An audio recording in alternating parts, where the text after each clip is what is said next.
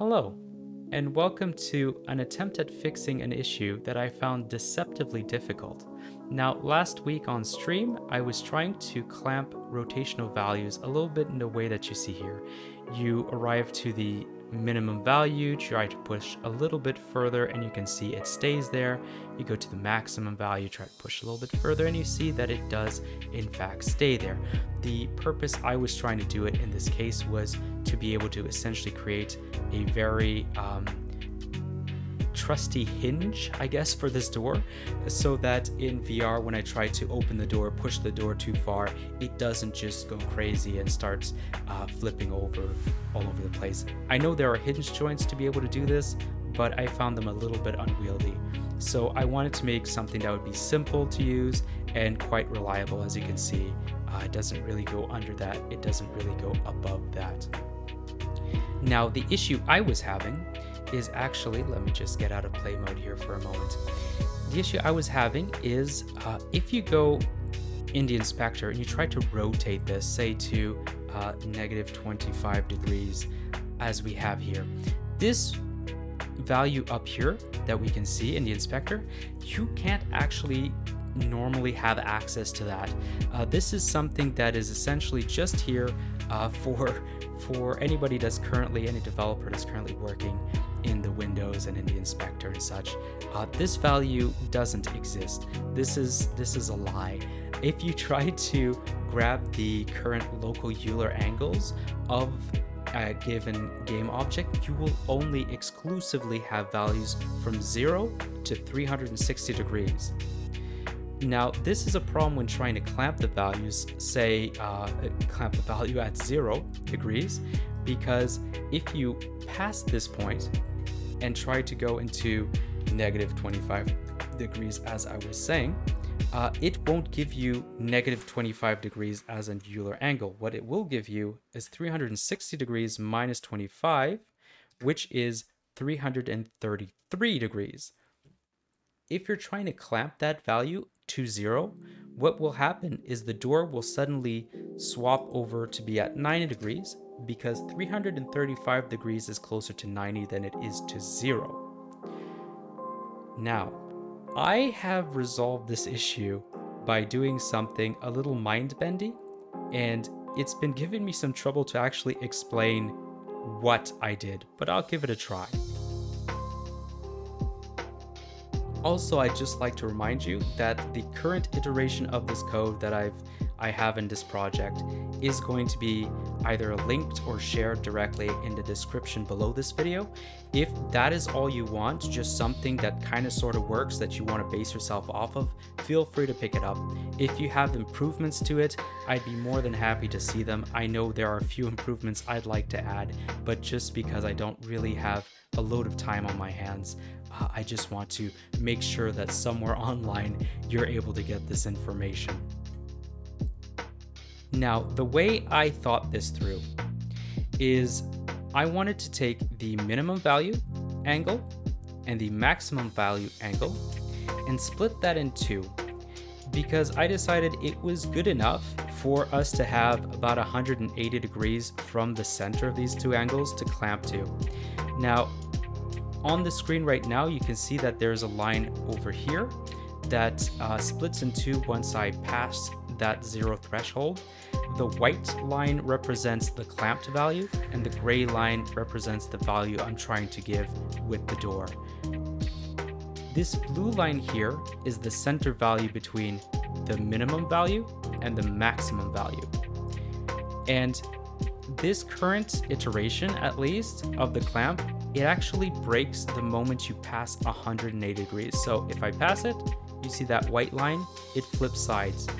But I decided that, you know, 180 degrees from that center value, mostly for what I was doing, is perfectly fine.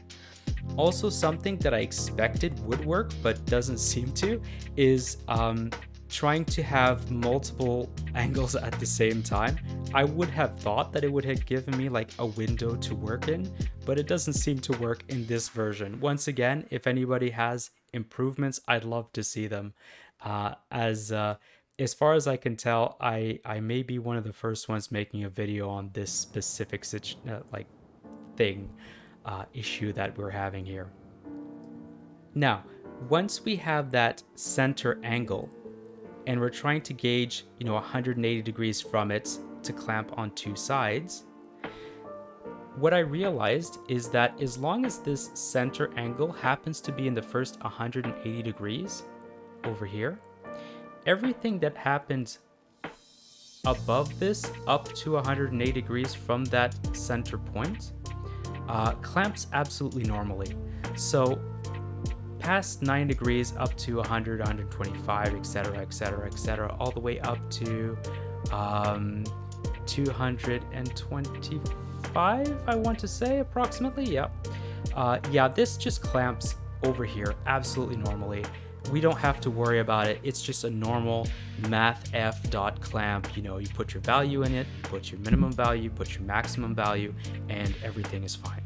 The issue comes on this side of the equation because once you pass that zero threshold, um, as I mentioned, in the inspector, it gives you negative values, but in uh, Euler angles, it never gives you negative values. What it gives you is numbers from 0 to 360.